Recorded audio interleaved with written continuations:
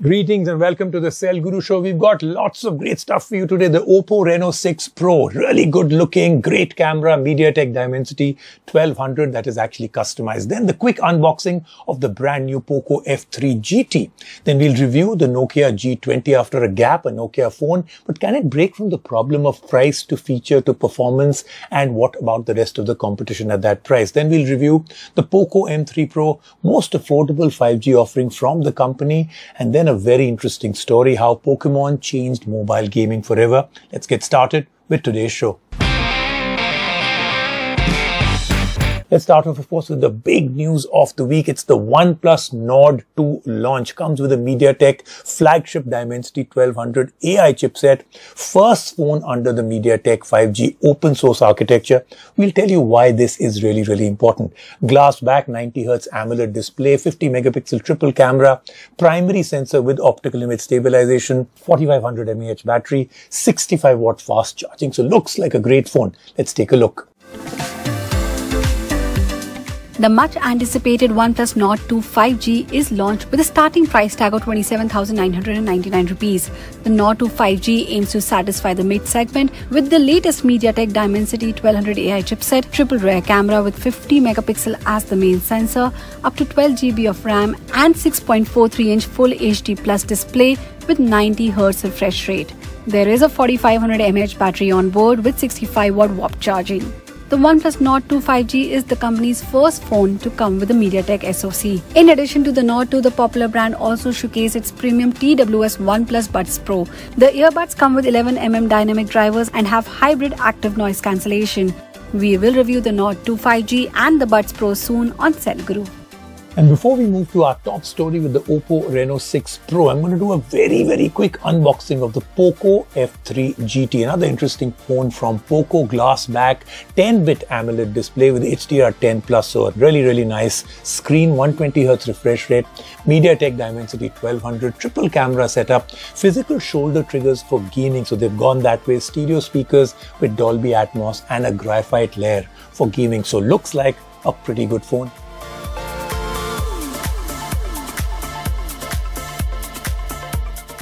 Now let's move on to our top story, the Oppo Reno 6 Pro.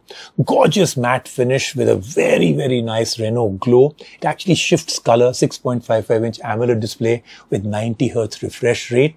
And then the MediaTek Dimensity 1200 chipset, which is really a mind-blowing chipset. Lots of pre-installed apps, of course, and there's no IP rating or stereo speakers, but the camera is actually excellent 64 megapixel 8 megapixel 2 megapixel very interesting video modes like portrait video mode bokeh flare video 4500 mAh battery with 65 watt fast charger and this is priced under 40000 rupees Sparkle and shine can elevate even the most boring thing to cloud 9.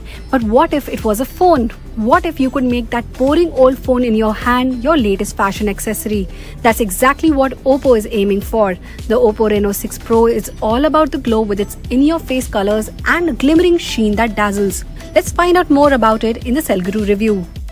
Oppo's flair for design can be seen the moment you set your eyes on the Reno 6 Pro. This is a phone that looks good and isn't afraid to show it with its glistening back and 7.6mm frame.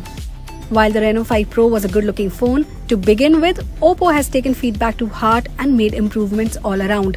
The back of the phone has a gorgeous matte finish that feels excellent to the touch and makes sure that fingerprints are no problem at all. There's even a hint of sparkle and shimmer that can be noticed when light strikes the phone. Oppo calls it the Reno Glow finish.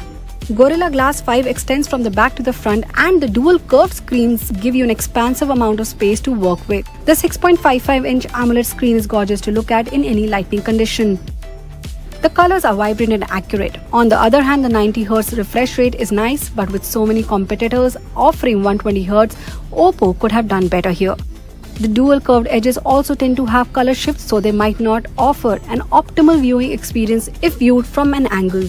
The plastic frame too does not exude much confidence. In fact, the phone has a laundry list of omissions that are odd considering the premium price point. To start with, there are no stereo speakers. Common even on budget phones, the single mono speaker hears loud but can crackle when pushed to the top. Holding the phone horizontally means that you will cover it up and reduce the output further. Additionally, there's no IP rating, but Oppo does not even claim splash resistance, so you'd better be careful when using the phone in the monsoons. Powered by the MediaTek Dimensity 1200 chipset, the Reno 6 Pro 5G flies in daily tasks. The chipset remains smooth even with heavy workloads, and most users shouldn't have any issues at all. The fluidity of the phone is aided further by how well the software is optimized. Color OS looks great with subtle animations all around the interface. Unfortunately, the phone ships with too many pre installed applications that take away from the experience. Gamers, however, might want to look elsewhere. Competing phones packing Snapdragon 888 chipsets offer a lot more power, especially for gaming. Coming to the cameras, there's both good and bad. The primary 64 megapixel camera on the Reno 6 Pro captures well exposed and saturated images with decent dynamic range. The phone also exhibited good HDR performance. Low light images are passable at best with too much noise reduction and unnatural looking colors. The 8 megapixel ultra wide camera too captures decent images, but the resolution is on the lower side. The 2 megapixel macro camera, however, disappoints with its lower resolution. But if you like to click selfies, the 32 megapixel front facing camera is sure to impress you.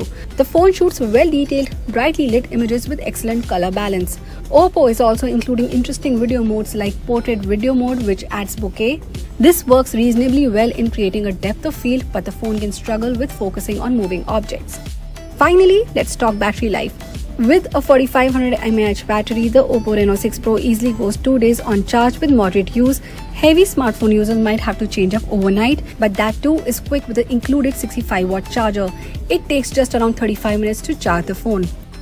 Overall, the Oppo Reno Pro is a great looking phone with plenty of good performance. The 39,990 price point, however, comes across as a bit too much, keeping the compromises in mind.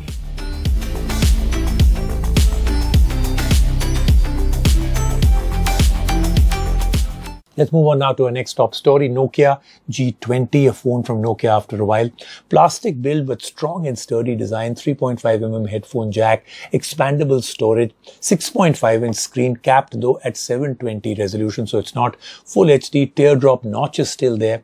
MediaTek G35 processor. So it's a bit of a sluggish performer. Only one variant, 4GB and 64GB storage, 48 megapixel main camera. So, you know, if you take a look at it, the battery is pretty good, 5050 50 mAh and 10 watt charger in the box. It's priced at 12,999. But, you know, there's a lot of competition at this price point. One of the most iconic brands known for making great build quality, robust and sturdy phones in the market, Nokia has given us some memorable moments in the past. The company has been expanding its affordable lineup lately, but none of them was truly impressive. Now the brand has launched the Nokia G20 that sits in an already competitive and fierce category of smartphones. So the question is, does it have the features to stand out from the others in the sub 15,000 category? Let's find out. Nokia never disappoints with the build quality of its phones. Similarly, the Nokia G20 is solidly built and has a strong and sturdy design. Although the phone is made entirely out of plastic, the quality and finish are a notch above. The back panel has a minimalist Nokia branding and the centrally aligned circular camera module looks aesthetically pleasing. The textured back cover offers a good grip for the hands to hold and remains smudge free which is a relief. The phone feels slightly heavy at 197 gram but isn't quite uncomfortable to use with one hand. The curved back panel eases up the handling to some extent. The G20 also does well with basics. The phone has a 3.5mm headphone jack, a dedicated micro SD card for storage expansion. On the front, the Nokia G20 comes with a 6.5-inch HD Plus screen. Like most budget handsets from the brand, the G20 also ships with a 720p resolution screen which also feels dated in 2021.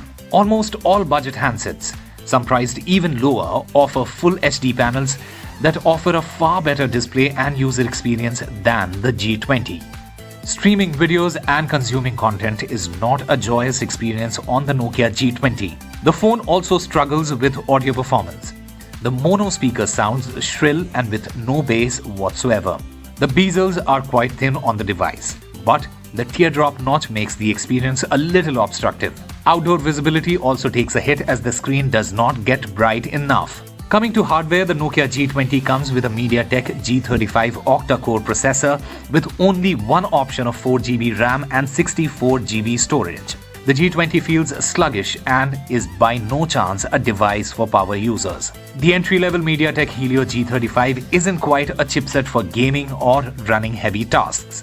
What surprises us is the sluggish response even with basic tasks such as UI navigation, scrolling your Facebook, Twitter timeline, camera usage, etc. Moreover, there is a noticeable lag even while opening apps, which isn't something anyone deserves in 2021 from a phone in this price segment. The ad-free stock Android software experience and guaranteed software updates are the key selling factors of Nokia G20. The phone runs on stock Android 11 with no unwanted bloatware. The clean UI and no spams and ads make for an excellent user experience. HMD has also promised to offer 3 years of monthly security updates to the Nokia G20. The Nokia G20 sports a quad lens camera hardware featuring a 48 megapixel primary camera, coupled with a 5 megapixel wide angle lens, 2 megapixel macro sensor, and a 2 megapixel depth sensor. Under ample lighting, the pictures are fairly well detailed, but we did notice the camera hunting for focus even so often. The overall photos captured tend to have oversaturated colors. The wide angle camera does a good job of getting more in the frame but lacks clarity and sharpness. For selfies, the phone features an 8 megapixel front facing camera, which is decent at best. The Nokia G20 shines in the battery department. It can easily clock a 2-day battery life even on heavy usage.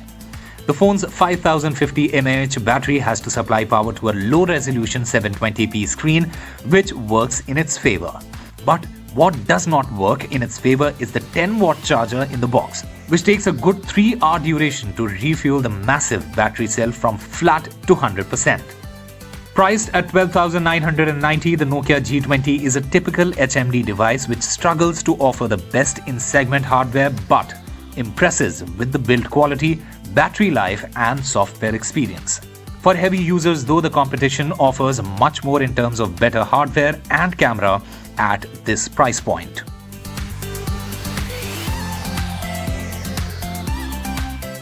Let's move on now to our next review, the POCO M3 Pro, most affordable 5G offering from the company. Design is okay. It's a slight bit of a different look. Plastic build, of course. Glossy finish attracts a lot of fingerprints. It's got a nice 6.5 inch full HD plus display, 90 Hz screen refresh rate, MediaTek Dimensity, 700 is the SoC, and good gaming performance in this particular system on a chip. Triple camera setup. But the camera is something I was very disappointed with. Very mediocre images. 5000 mAh battery, 18 watt fast charger, but it's priced really well. 13,999 for the base variant. Xiaomi sets the bar pretty high with its new budget smartphones and POCO, its sub-brand has established itself in the Indian market by now despite having a limited portfolio. Building on that momentum, the company now hopes to wow the audience with a pro model of the POCO M3. But with many phones also occupying the sub 15k segment, can the POCO truly compete? Let's find out. The design of the POCO M3 Pro 5G is refreshingly new and stands out in a crowded market. The blacked out portion on the upper side of the back panel resembles the camera module design on Samsung's Galaxy S21 series, while the rest is a gradient finish. The back panel and frame are made of plastic but what annoys us is the glossy finish which catches a lot of fingerprints smudges. The device is not too thick at 8.92mm but feels heavy at 190 gram. Ergonomics are good and the volume and power buttons have good tactile feedback. The basics are covered well by the POCO M3 Pro 5G as it offers a 3.5mm headphone jack and expandable storage. But do keep in mind the expandable storage can only be accessed if not using a secondary SIM slot. The POCO M3 Pro 5G features a 6.5-inch IPS LCD with full HD plus resolution. Pictures and videos look nice, but they lack vibrant colors. That said, it is sharp and smooth and does the job well on most occasions in most outdoor conditions. However, the brightness colors could have been better. The contrast is on the higher side and that doesn't make for a good streaming experience. The devices feature slim bezels around the front with a punch hole camera, so no antique water drop notch here. Kudos to Poco for pre-applying a plastic screen protector despite baking Gorilla Glass protection. The Poco M3 Pro 5G is powered by MediaTek Dimensity 700 SoC with 6GB RAM. Daily performance is smooth with no absurd waiting times for apps to load or annoying jitters while scrolling around. The icing on the top is the 90Hz refresh rate which makes the experience even more smooth and fluid. The gaming performance was good too. Heavy titles ran well though the graphics quality was limited to medium. The device did get warm after some time of gaming, but this was not too alarming. On the software front, the smartphone runs MIUI 12.0.2 based on Android 11 out of the box. Some system ads within the interface can be found, but the experience is decent with less bloatware and bugs when compared with previous Xiaomi and Poco phones. In terms of camera, Poco has used the same setup as on the Poco M3. It comes with a 48 megapixel main sensor, 2 megapixel macro and depth camera sensor. Most images look quite detailed and sharp with good colors in daylight taken from the primary main shooter. The indoor shots have visible noise both in normal photos and portrait shots. The macro lens does a decent job, but images can have a painting-like effect. What really baffles us is the lack of an ultra-wide sensor as most people end up using the wide-angle lens more than the macro lens. Coming to the 8 megapixel front camera, the selfies come out well in ideal lighting condition. The 5000 mAh battery on this phone can go up to a day and a half with moderate usage thanks to the variable refresh rate display. But charging the phone wasn't the quickest. The 18 watt charging adapter is slow to charge and we wish Poco figured out a way to stuff the 33 watt fast charger from Xiaomi. Priced at Rs 15,999, the Poco M3 Pro 5G undercuts the Poco X3 and Redmi Note 10 Pro to emerge as a capable smartphone for gaming enthusiasts on a tight budget. The smartphone brings a 90Hz display, decent Dimensity 700 processor, and design that gives it an edge over competitors. All of this makes the Poco M3 Pro 5G a good option in this category, but not exactly the kind of disruptor we hoped for. Phones such as the Xiaomi Redmi Note 10S and Redmi Note 10 Pro offer much better value with similar performance but way better features. Let's take a quick break right now on the Cell Guru Show. and we come back, lots more.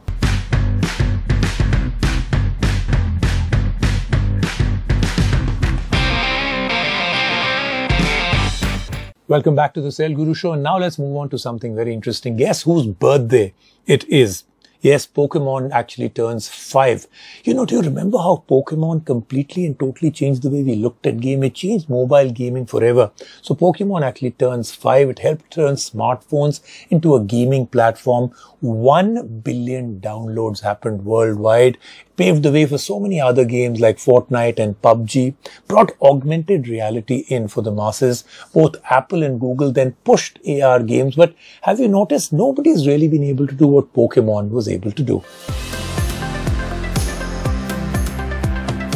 Summer afternoons watching Pokemon and training to be the very best. Nostalgia is a potent way to build up hype, and that's exactly what Pokemon Go did when it hit the scene 5 years ago.